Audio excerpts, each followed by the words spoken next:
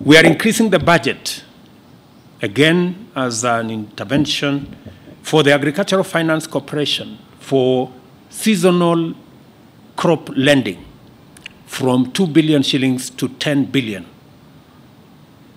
to facilitate affordable credit that will be available to our farmers. The credit will be provided at single digit rates to further reduce our cost of production and enhance the productivity of our farmers. We have so many farmers that every season borrow money to buy inputs.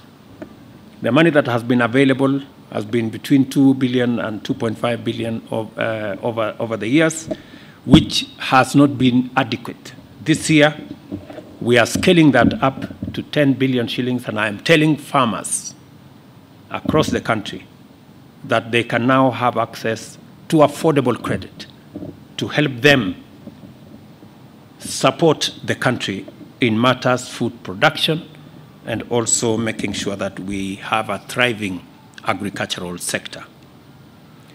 We are also working with the private sector and county governments on a comprehensive mechanization program to increase av available tractors and other farm machinery to further enhance the efficiency and productivity of our farmers.